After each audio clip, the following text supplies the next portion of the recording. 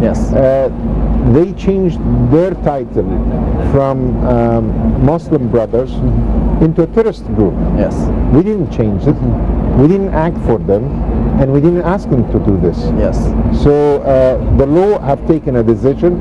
I have to respect the law because the law is respected everywhere Yes. in the entire world, Yes. whether in the United States or in China or even in Europe.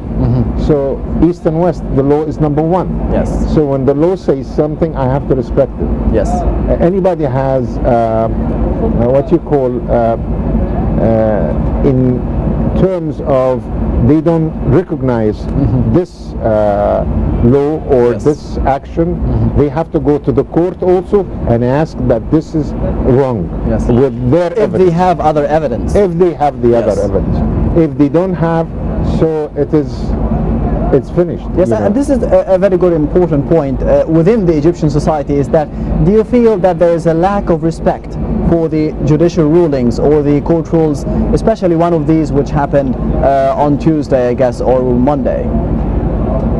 Sir, let me tell you something. If we do not respect our law, Yes. we don't respect our rules, uh, we will be non-respectable people. So I have to respect every tiny thing said by the judge, by the law, Yes. which is uh, it's giving the freedom and giving democracy a right. So democracy starts with law. Yes. Doesn't start with violent action. That's democracy. Yes. Uh, I hope uh, the Muslim brothers uh, recognize what they have done was against the Egyptian will Yes.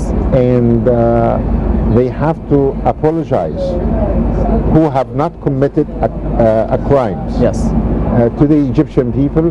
And they are most welcome to be with us. That's they are Egyptians. Yes. we are not against them. But also those who have committed a crime they have to take the penalty for this. So the penalty was a kind of a, a jail or sent to death that's the penalty. Yes. it's not we are not implementing this penalty. So it's a normal thing and uh, uh, we cannot uh, uh, go against it. Yes. And what uh, really astonished me that some countries are saying uh, this is very wrong. Yes. Very good. Yes, how would you see that? Because uh, we know that uh, the ruling was condemned by the European Union, the UN, the US, uh, Britain, most of Europe. How do you see that? Do you think that uh, that this was not acceptable of them to be uh, commenting on an internal issue, a, court ruling by Al-Minya Governorate here in Egypt? First of all, they have to study the Egyptian law. And the Egyptian law is the law which is uh, uh, done by professional uh, through the constitution. And we never interfere into the European law Yes. and uh, European countries or United States. And of course, there's a big difference as well between Egypt and other countries that some of them, they don't even have the death penalty. But we have the religious aspect here in Egypt, according to Islam, that he could be killed if he killed uh, another citizen or another uh, Egyptian. Yes, sir. You have the death penalty as well as Saudi Arabia. Yes. the but, but most of the foreign countries, they don't. Yeah, So but we no- don't really understand why. But they also in the United States there is in in, in some uh, some uh, states you have a death penalty and the others are. In some states. Yes. So some people can be sent to the chair, electric chair, and uh, that's a death penalty for them. So we have to recognize and do and say one thing. Mm-hmm. What concerns the Egyptian belongs to the Egyptian. When somebody made the action towards the Egyptian people and killed over than 86 at, at this area, uh, police people and uh, citizens, Yes. civilians Yes. in this area, uh, what do you expect me to do? And ask them. Yes. Should I uh, treat them and get them uh, uh, tea and coffee and uh, no? Yes. It's it's it's judge who's uh, gonna give them the penalty. It's not me. The other thing, uh, Egypt never uh, went against the United States or Europe Yes. for any death penalty for or jail, life jail for anyone. Mm-hmm. So why they interfere in our business? This is our business Yes. and we would like to have a mutual understanding between both of us, United States and Europe. We want to keep this kind of friendship uh, on on uh, for the sake of our countries and their countries. And we are not against the United States and we are not against Europe, but we are not interfering in any one of them. Yes, uh, Dr. Hussein, uh, the same court has set the April the 28th as the date for a ruling on a case where 683 uh, Brotherhood members, including the Supreme Guide of the Muslim Brotherhood movement, Muhammad Badie, face several charges, uh, including murder. Do you expect the rulings to be as harsh as the ones that we've heard about this week? It will be more than this. But I want just the number of people you have said before to 528, something Yes. like this.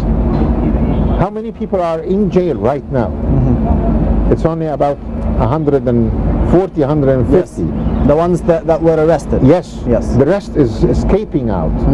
Qatar is sheltering some of them. So uh, we made the penalty. If they come back again, they can go and uh, uh, ask for. Yes, uh, and this, of course, we'll be talking more about um, in the coming minutes. Is that Qatar is supporting terrorism, and it comes out in the Arab Summit and says that it is combating terrorism. That's a bit of a contradiction, but we'll be talking more about later. Please go on. Okay. Qatar is Qatar is a nice country. Uh, the people over there, their advisors are not very professional. They need somebody to teach them. It's a small country anyway. No, we call it as a country, and it's Yes. an Arab country, but we want them to recognize. Uh, change your advisors Yes.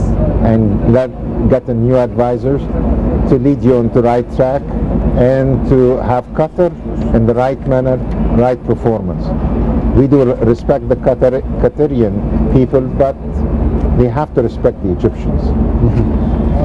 Yes, uh, Dr. Hussein, uh, as promised, now we'll be talking more about the Arab Summit finally. How do you see uh, the resolutions of the Arab Summit and uh, the Qatari stance towards Egypt during the Arab Summit? Well, uh, when you go to an exam, uh, you're not supposed to get 100% degrees, right? Yes, yes. But Egypt in that com- had got 99, 99%. So 1% is uh, is nothing. So you're Especially after the speech of President Yes. Adli Mansour. Yes. Yes. So this this com- uh, the summit, this summit, uh, I consider this summit is a very important summit. Why? Because it, it reminds me with 1968 summit, Yes. and it also reminds me with the summit of after the war of 1973 Yes. both of them the results coming out of this was excellent this one is an excellent one because you had already decided to make with the law and the police fighting terrorists Yes, uh, Doctor, finally, because we only have about 30 seconds to be finalizing the uh, interview. Uh, how would you see the future uh, of the Egyptian-Qatari ties? The short term, in the short term yes. they have to uh, think positive not negative because what they are doing right now they are negative they are not positive at all um, Egypt will not keep quiet for any bad uh, influence Yes. and uh, they have to live with us not against us Yes. that's a very important thing. Uh, but once we say it's a young brother, this young brother, he's still in kindergarten. We need him Yes. to recognize that he is still in kindergarten Yes. and he needs to come uh, as uh, a student and then educated and then graduate. Yes, Dr. Hussein Shureib, the planning and development expert. Thank you very much for being with us today on Nile Cruise. Thank you. Thank you. And this brings us to the end of this segment of Nile Cruise. So stay tuned. We're going out for a quick break and we'll be right back again.